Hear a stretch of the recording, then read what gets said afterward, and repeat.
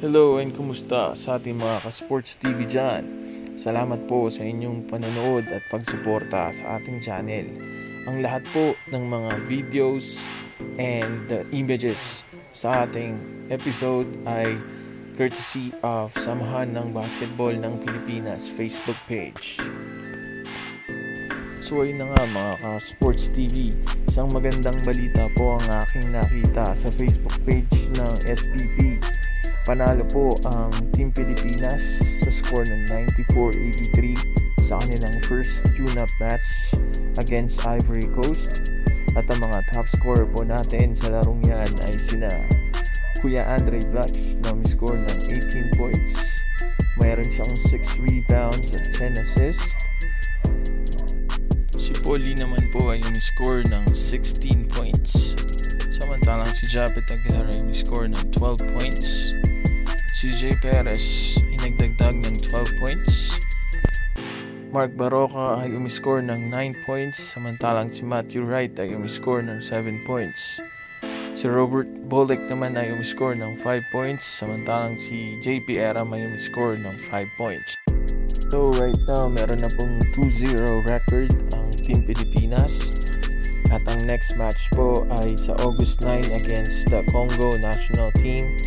So please continue to support our Team Pilipinas. Team Pilipinas, Gilas, Puso!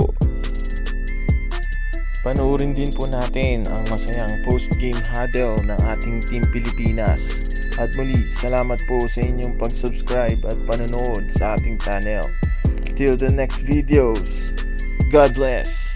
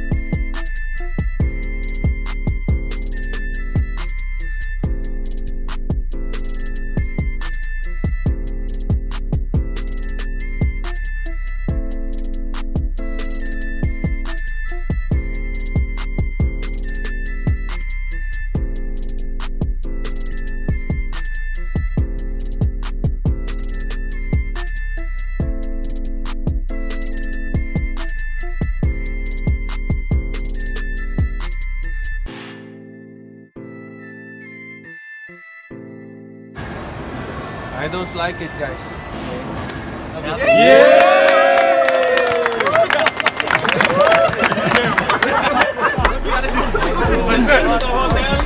Have dinner tomorrow. We leave at uh, 9 o'clock, 8.45 at the. Okay? Up at 7.30. Okay? So we'll just talk about this when we have time.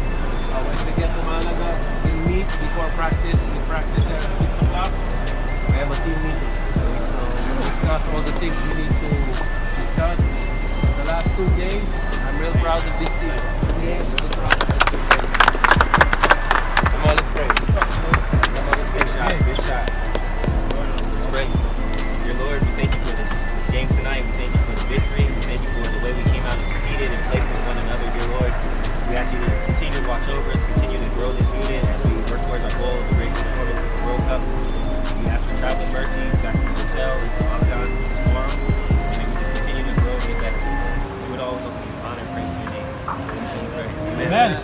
Go down.